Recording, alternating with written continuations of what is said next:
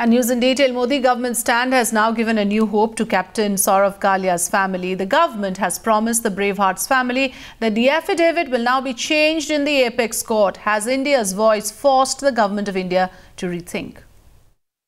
When the fight is going on the border, we really don't know whether he was killed with a with a with a bullet of Pakistani bullet or he, he died because of the weather. For years together, we let them get away with many an excuse Despite having proof, lieutenant Kaliya के साथ recce के लिए हमारी तरफ advance किया मगर हुआ यह कि वो एडवांस तो हमारे ऊपर कर रहे थे लेकिन वो शिकार करने के लिए आए थे और खुद शिकार हो गए there's been much that India could have used to corner Pakistan for what it did to one of the first heroes of the Kargil War. Captain Saurabh Kalia. Unfortunately, in the last in the last 16 years, mm, nothing fruitful, nothing concrete has happened. His family's fight has been a long and a lonely one. Nothing short of a war like the one his son fought on the frontier. This father let down by successive governments.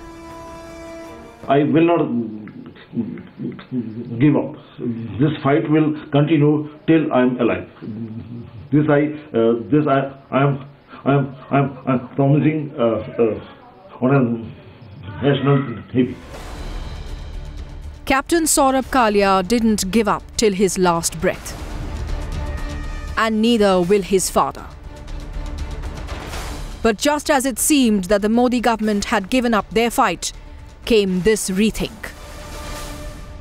Saurabh Kalia को जिस तरह की यातनाएँ दी गई वो एक अपवाद स्वरूप स्थिति निर्मित करती हैं। एक्सेप्शनल सर्कमस्टांस है। तो इसलिए हम सुप्रीम कोर्ट में अपना हलफनामा बदलें। India's fight may have forced this rethink, but Captain Kalia's family is cautious in their response. Sushma Swaraj ji ने जो कहा ही है किया तो कुछ नहीं 16 साल के बाद एक सरकार जवाब देती है कि हम इंटरनेशनल कोर्ट में नहीं जा सकते तो आज मैडम ये कह रही हैं तो देखते हैं कि मैडम क्या करती है For 16 years, all they heard were empty assurances. Right from the Vajpayee government in 1999, when they bid their young son a final goodbye, to the Congress government, who in their 10 year rule only made promises, dragging their feet on the issue.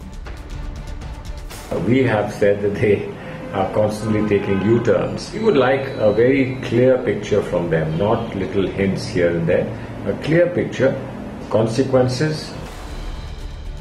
After hiding behind the Shimla Agreement for 16 years,